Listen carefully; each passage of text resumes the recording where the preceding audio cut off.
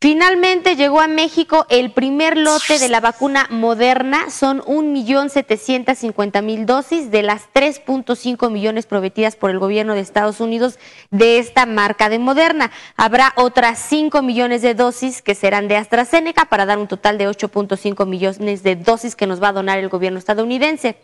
El fármaco llamado Spyvax arribó al aeropuerto, arribó al aeropuerto internacional de Toluca estas van a ser aplicadas, ya se adelantaba, en la zona metropolitana de la Ciudad de México, en el estado de Jalisco y en el de Nuevo León. El canciller Marcelo Ebrard informó que el segundo embarque llegará en el mes de septiembre.